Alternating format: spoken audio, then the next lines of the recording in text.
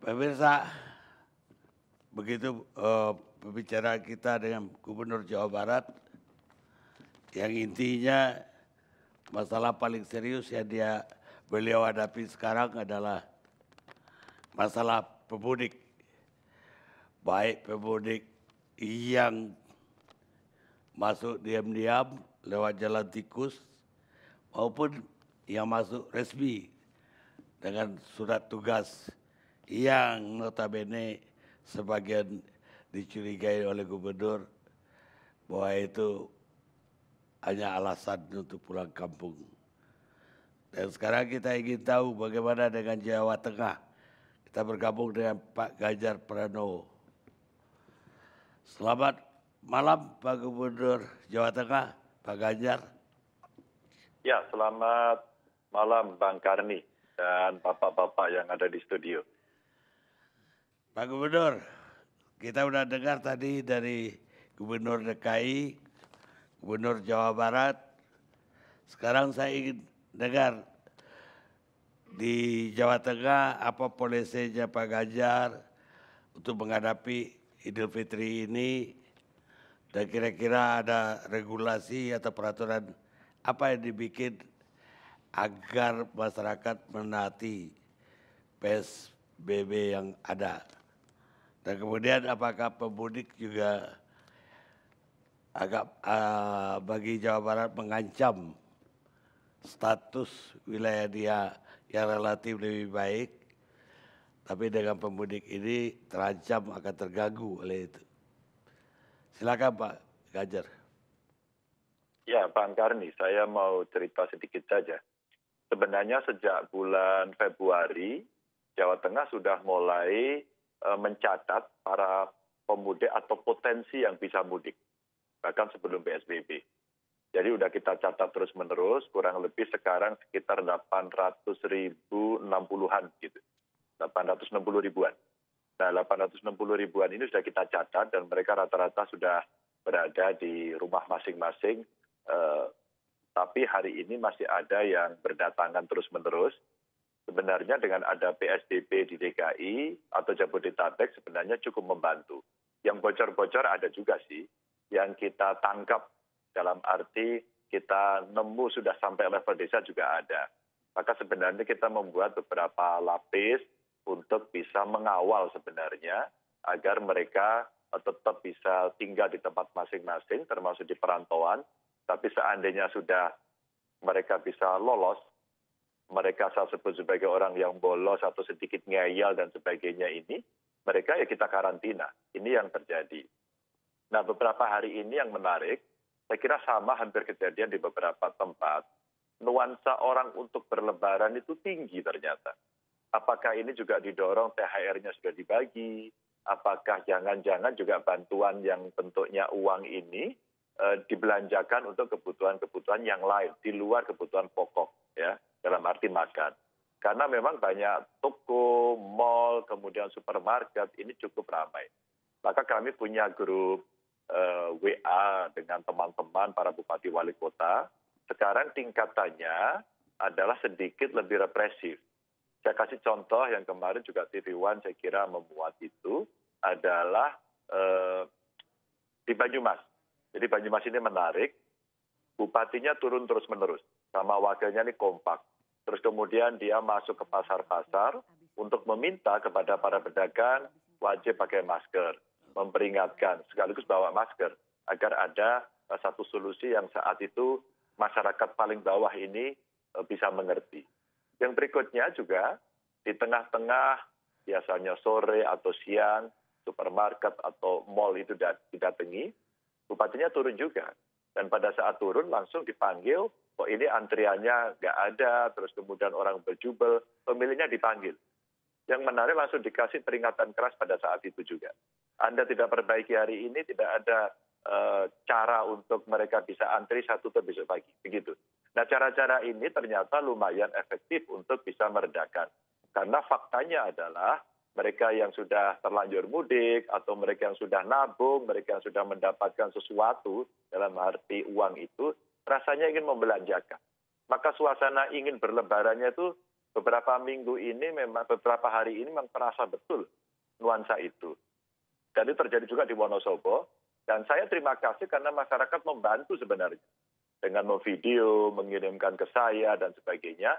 Nah inilah yang coba kita tindak lanjuti. Di kota Pekalongan juga terjadi. Tempat ramai juga. Bahkan sampai ke Jakarta, muter-muter teman-teman dari Jakarta mengirim banyak sekali ke saya. Mas, ini bagaimana yang terjadi di kota Pekalongan? Langsung saya kontak uh, wali kota sama wakilnya.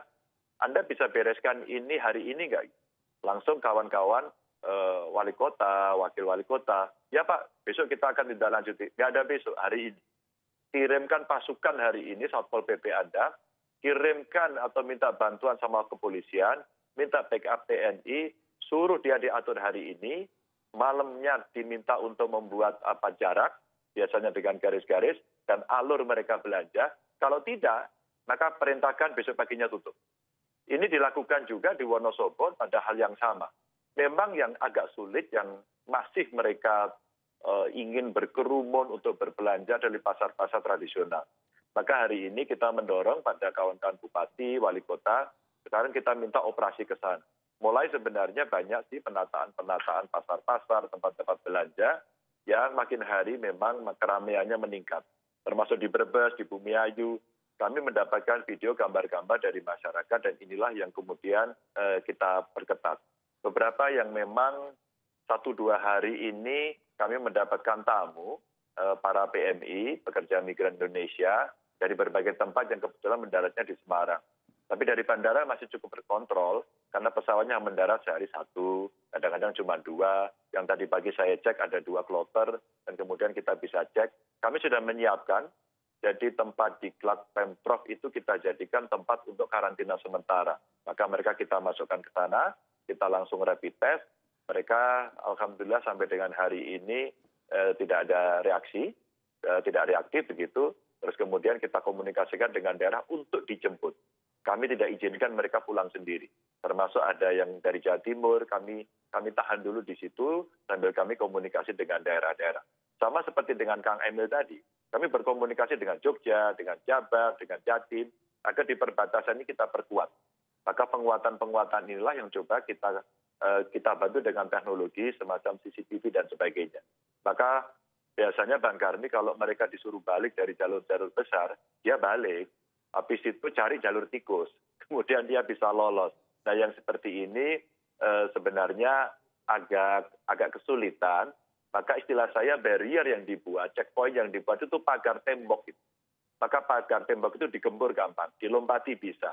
Atau mereka berputar atau memutari eh, bangunan itu juga tidak terlalu sulit. Itu saya istilahkan pagar tembok. Maka kalau kita ingin mengharapkan mereka tidak pulang sebenarnya atau tidak mudik ya dibuat pagar mangkok. Pagar mangkok itu jauh lebih kuat dari pagar tembok. Maka sudahlah kamu bertahan di situ selama PSBB sekian hari, mulai bagus Jabodetabek turun, Jawa Barat mulai turun. Dan ini kalau sudah mulai menurun-menurun begini, kamu sebagai patriot, kamu sedang bela negara, kamu sedang berkontribusi pada bangsa dan negara. Maka terhadapnya perlu mendapatkan apresiasi. Apa itu? Jaminan kebutuhan agar mereka tetap mau stay di sana. Mereka juga bertanya, Pak Ganjar, saya nggak punya rumah, saya buruh harian. Baik juga sebenarnya kalau kita fasilitasi tempat-tempat umum, apakah kemudian kita menggunakan stadion, gedung-gedung sekolah, agar mereka kita inapkan saja sebentar di situ, minimal setidaknya 14 hari atau selama masa PSBB, terus kemudian kita suplai eh, bantuan-bantuan makanan sehingga mereka akan bisa aman.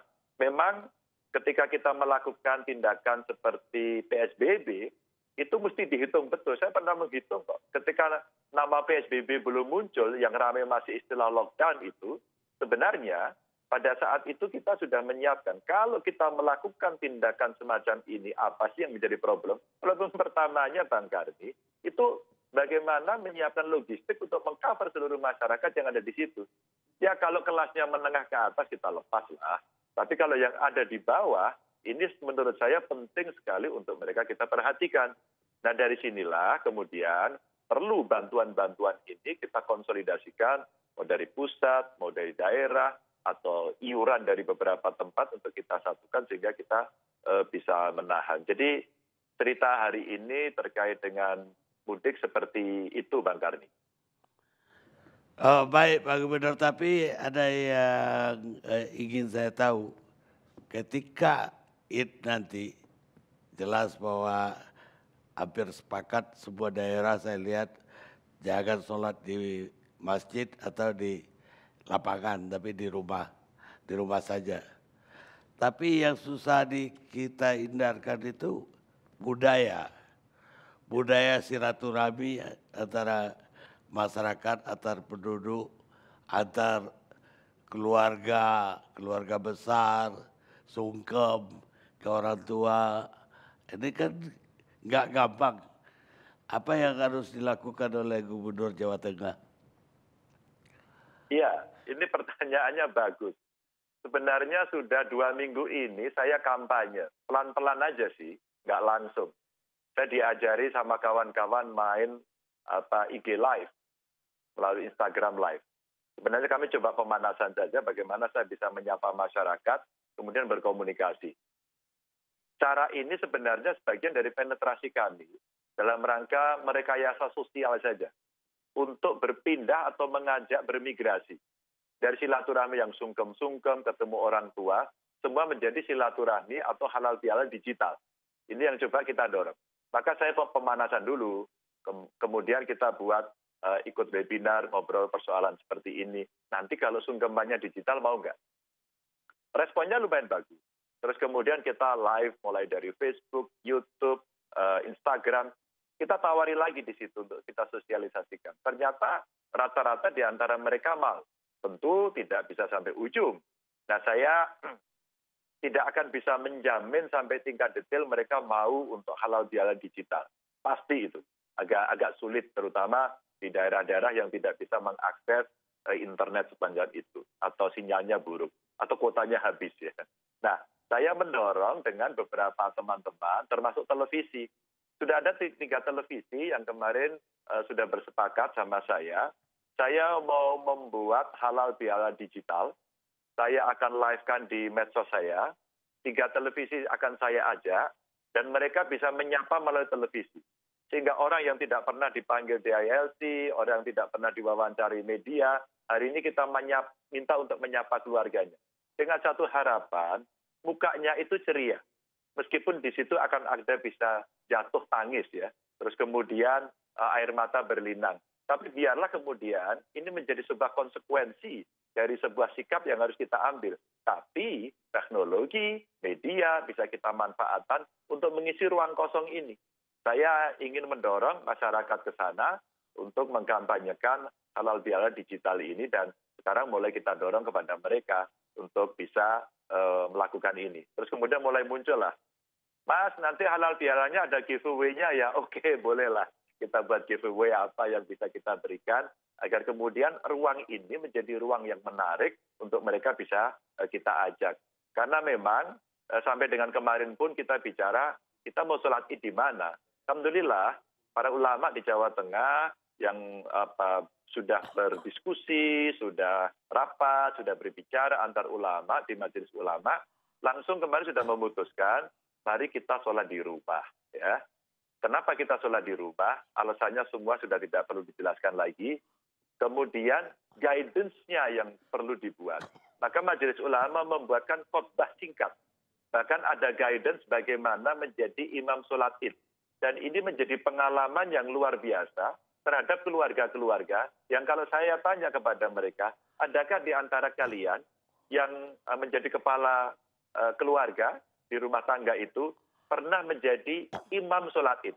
Hampir semua rata-rata belum pernah, tentu termasuk saya sendiri. Kemudian kita kasih uh, satu guidance dari majelis ulama, begini besok cara penyelenggaraannya, laksanakan di rumah, dan ini pasti akan menjadi pengalaman seumur hidup yang menarik. Kita bicara pada sisi positif saja, agar kemudian ini betul-betul menjadi menarik dan orang mau melakukan itu. Jadi gambarannya seperti itu, Bang Karni. Menarik, menarik. Jadi ngajarin juga kepala rumah tangga jadi imam, bisa khotbah kalau perlu. Mana tahu nantinya jadi ustadz. Baik Pak Gubernur, terima kasih banyak sudah bergabung bersama kami. Sama-sama. Terima kasih Pak Kami.